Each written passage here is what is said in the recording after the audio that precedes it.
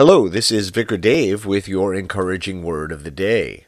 Fear is poisonous. When fear drives our decisions, it will slowly destroy us. Fear causes us to move against God's will. This is detrimental to ourselves and others.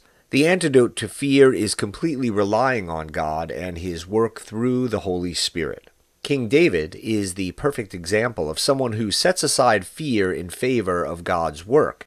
In 1 Chronicles chapter 12 verses 1 through 15, David surrounded himself with feared mighty men who were chosen by God to help him. David could have worried or had fear when it came to leading these men. As king, David had the ultimate authority and could have given orders on his own, but he chose to involve others in leadership roles. It took real courage on David's part to be a leader of leaders. David was a man of valor, a man empowered by the Holy Spirit.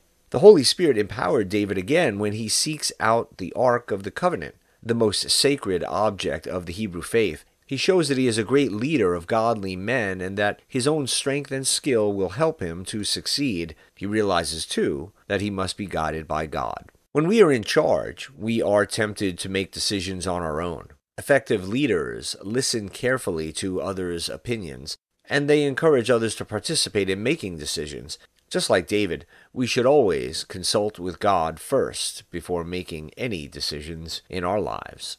Let's pray. Dear Father, guide me in making decisions. Help me to combat my fears in everything that I do because you are always with me. Amen. May God's love and mercy lift your hearts and give you peace.